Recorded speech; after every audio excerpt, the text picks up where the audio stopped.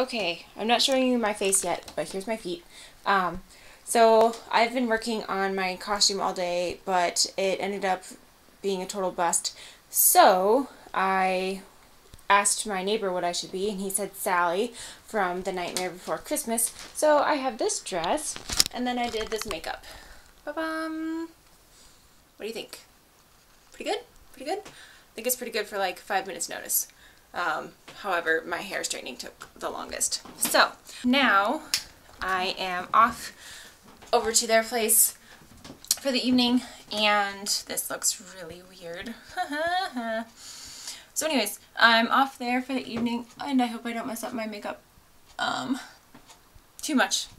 But, I mean, it doesn't really matter. It's just friends. So, anyways, I uh, should be able to show you a lot of that. And Yep, should be fun. It's going to be chili and delicious food, and I'm bringing some wine over. Sorry I didn't show you much today, but literally I was sitting on my bum all day trying to get that costume made, and it didn't work out.